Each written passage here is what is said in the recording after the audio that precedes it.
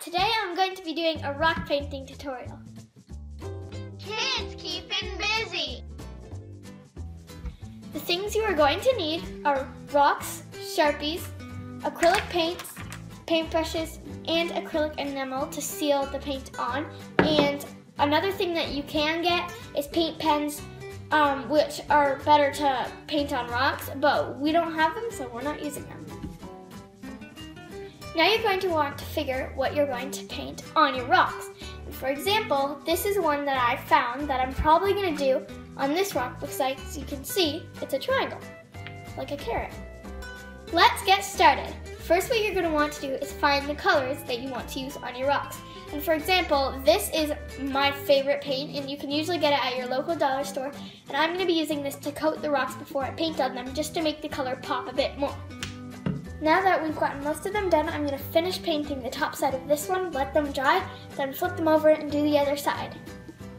Now that all of the paint on the rocks are dry, I've chosen this rock to use for my design. And as you can see, I've sketched out a little design of a bunny and a carrot. And I'm going to be using this black to trace over the whole thing, this pink to color in the bunny a little bit, and this orange to do an outline of the carrot. And make sure don't be afraid to get in some of the small spots with the Sharpie because they're really good for that. And then I've got my orange pastel paint that I'm going to color the carrot in. And as you can see, we've just got some ones that we've done. We've got a tomato one, a little owl one. This one we have to finish, but it's gonna be a bird on like a little vine tree thing and a little music note. So I'm going to start painting my little design.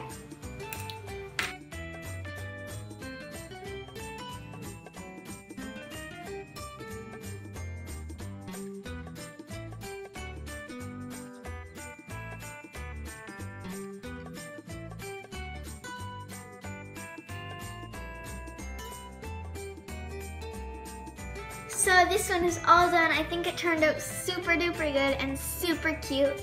So, um, tomorrow we're going to be showing you how to seal it all up with acrylic enamel, which means you can put it in your garden, your vegetable garden outside. Like this one, once we seal it, we're gonna put it in our vegetable garden.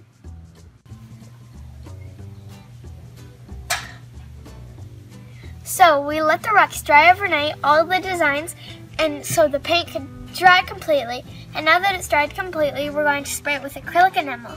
And you want to spray it about 30 centimeters away. So then, yeah, let's get started.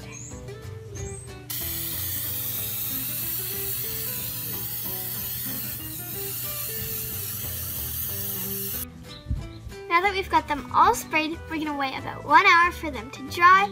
And then once they're all dry, you can find the perfect spot to put them in the garden. You can give them to friends. You can put them in the yard or something like that. I hope you guys had fun making or decorating your rocks. Thanks for watching. Peace out.